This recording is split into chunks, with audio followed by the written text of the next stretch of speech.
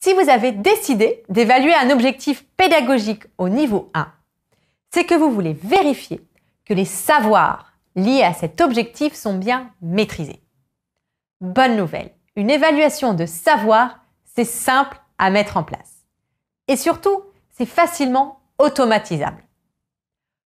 L'outil de choix, c'est le QCM sur outils numériques. Parce que pour être mémorisé à long terme, un savoir doit revenir au moins 7 fois en mémoire de travail. Et ce, de façon espacée dans le temps, si possible sur plusieurs mois. C'est exactement le principe des applications telles que Duolingo ou Babel pour l'apprentissage des langues. L'idée, c'est donc de vous construire une grosse banque de questions portant sur ces savoirs. Ou même mieux, de la faire construire cette banque aux apprenants. Puis, de poser des questions extraites de cette banque à intervalles réguliers. Ce qui fait que les apprenants peuvent passer le QCM plusieurs fois sans avoir les mêmes questions qui reviennent.